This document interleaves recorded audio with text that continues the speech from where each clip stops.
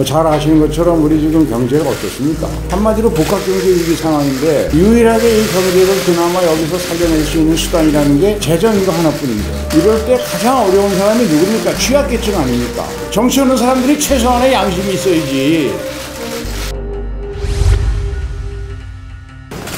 어제 제가 마지막 중재안을 내놓고 어, 오늘 중에는 양당 프로젝트 들이 저 합의안을 만들어 줄 줄 알- 알았어요. 그런데 어, 오늘도 또 어, 일괄 타결이 안 돼서 참 걱정입니다. 그리고 좀 서운하기도 하고 뭐 잘 아시는 것처럼 우리 지금 경제가 어떻습니까?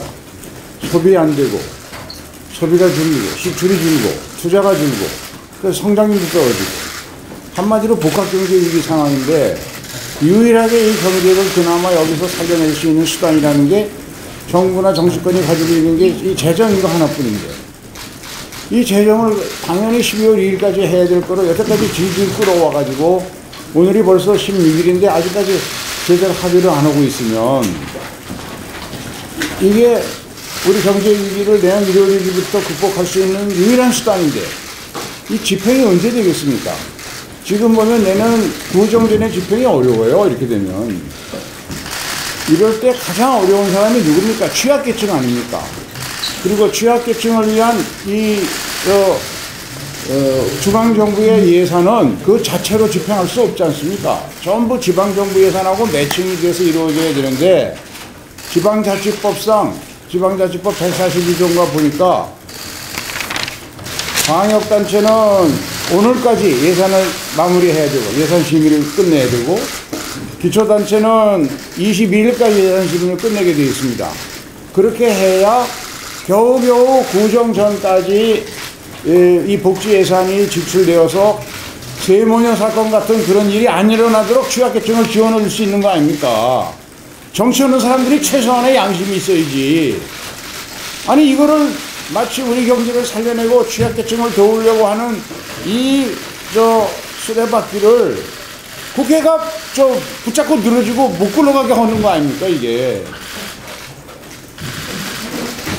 그래서 정말 간곡하게 다시 한번 부탁합니다. 뭐 내가 내놓은 중재안에 그거 저 연연하지 않아요. 하도 합의가 안 되니까 내놓은 제안에 불과하고 합의를 해주세요. 해주는데 내가 쟁점들 쭉 이렇게 받아서 검토를 해보니까 그렇게 큰 차이가 있는 것도 아니에요. 할 수 있습니다.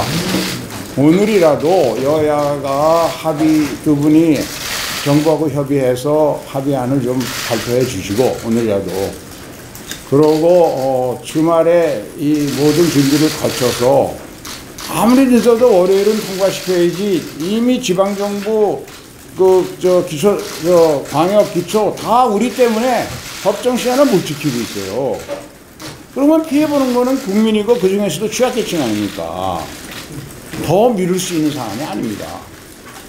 그래서 저 그분이 에, 저 정부하고도 이 긴박한 상황을 정부도 잘 알 테니까 좀 의- 의논하셔서 어, 오늘 중에는 어, 큰 마무, 합의안을 발표해 주시고 세부 사항 준비까지 다 맞춰서 월요일에는 꼭 예산안을 합의 처리할 수 있도록 좀 음, 특별한 결단을 해 주시기를 당부드립니다.